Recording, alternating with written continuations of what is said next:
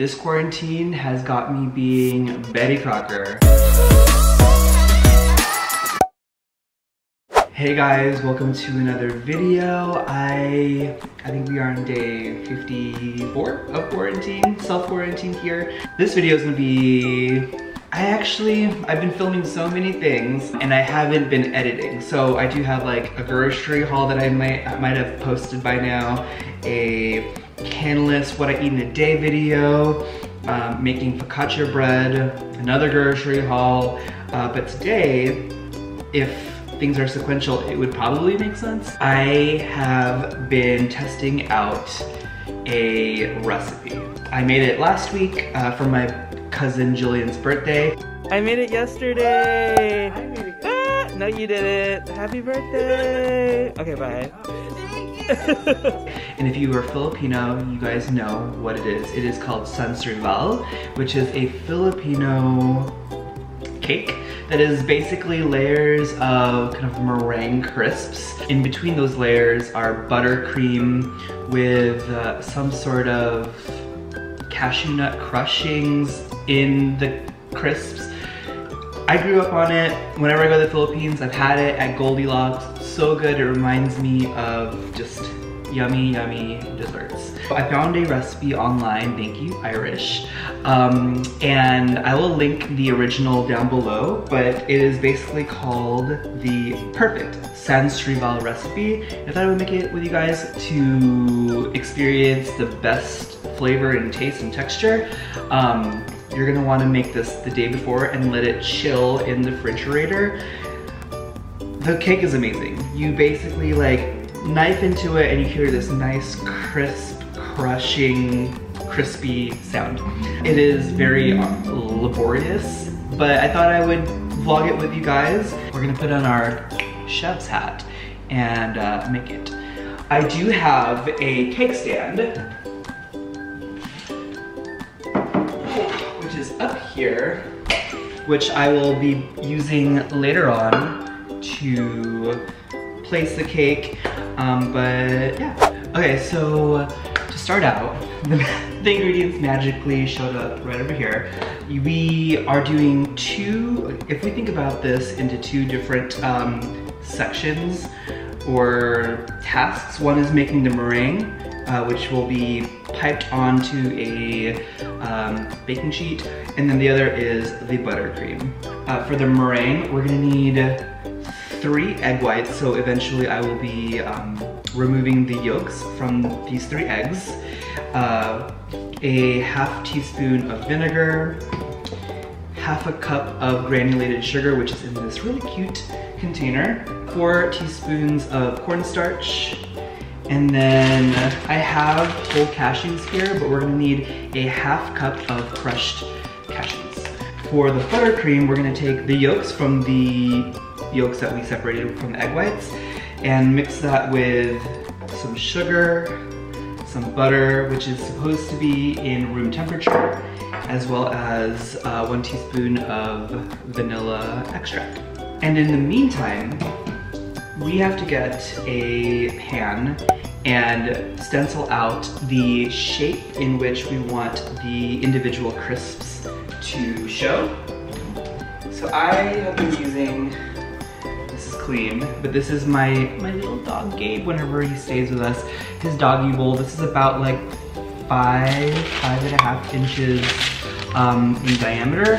Um, something between five and six inches would, would work, and I will stencil this onto a, a parchment paper because I only have one pan, I'm probably gonna use the same parchment paper and in between do two rounds of baking the meringue because of the limited resources that we have. So here we are separating the yolk from the whites. So I think what I'm gonna do is, I've seen a lot of bakers do it this way. Oh, separating it out with your hands.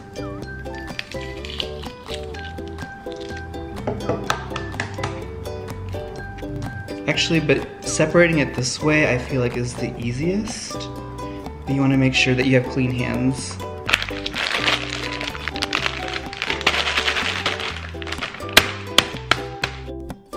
For meringues, we're gonna wanna put the egg whites into a large bowl and then whisk it until it becomes a frothy texture. Afterwards, we're gonna wanna put a half teaspoon of vinegar and continue to beat the eggs white, egg whites for as long as it does so that it gets into soft peak. And then gradually add your sugar and beat some more. For the first time that I did this, it took maybe like five to 10 minutes to get to a thicker texture. You don't want a runny texture until it gets to a medium peak. Then you want to add in the half cups of cashew nuts that are crushed and then using a rubber spatula to fold from the sides in. You don't want to create too much air so that it mixes in well but without adding in the air. Then we have a piping bag. We're gonna want to put the meringue inside the piping bag and then you want to go back to the baking sheet and then start piping in the meringue in a circular motion until you get to all of the stencils and then using a straight edge try to flatten out the top. And then you want to um, get the pan and then kind of drop it onto the counter so that it kind of releases as much air as you can and then placing it into the oven for 40 minutes um, at about 300 degree, 320 degree Fahrenheit. You guys, my hair is ridiculous. But right now, uh, the meringues are in the oven, but in the meantime, I will be starting my buttercream. So in a bowl, I'm going to mix the three yolks with the sugar and then mix it. So you wanna go over a boiling pot of water so that you can mix that and then the heat will help dissolve the butter sugar mixture. Then I'm gonna go into the hand mixer and then mix the egg yolk and the sugar until it is light and fluffy. And then you add in the softened butter. You wanna make sure that the butter is one, unsalted, don't make that mistake, and two, room temperature. You wanna take the hand mixer and mix in the butter in three batches rather than having the entire dollop of butter, which is about one cup. And then you're gonna add your vanilla extract. I like to use like natural, like real vanilla extract because I know that there are some vanilla extract that are imitation vanilla extract. So make sure to do the real vanilla extract and then whip on the hand mixer until it's all blended together. So it is almost 40 minutes. It is about time to remove the pan from the oven. Let's take a look. So, um, there's a little bit of bubbles and I don't know if there's a way to avoid that, but I'm gonna let this cool right over here for a little bit. Okay, so we now have our buttercream.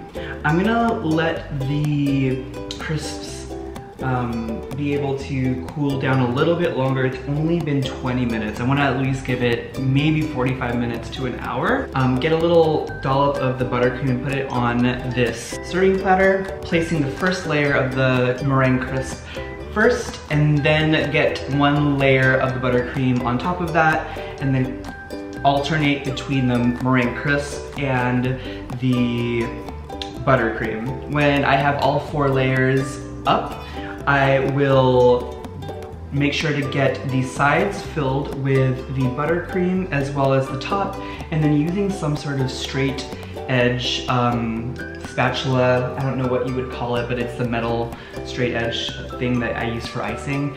Try to get that as flat as possible as well as the top and then get your crushed cashews and just coat the perimeter and area of the cake. Okay, so we are finally done baking, assembling, all of that stuff for the Sans Rival cake. It definitely is a little bit more on the laborious side, but if you have patience and you don't mind messing up and being okay with it, I think anybody can do this.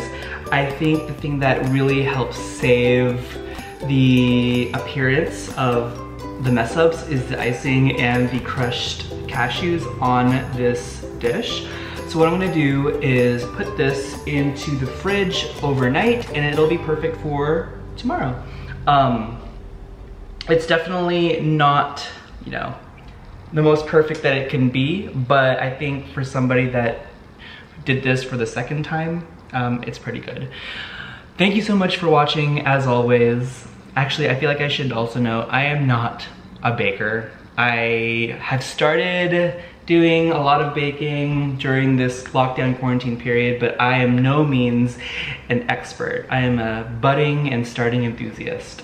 Uh, thank you so much for watching. Please um, let me know down below what you guys thought. If you guys had any um, suggestions or recommendations for how to make this better, or if you guys have any recipes that I you think I should know about, please let me know. Thumbs up this video, and I will see you guys in the next video. Bye.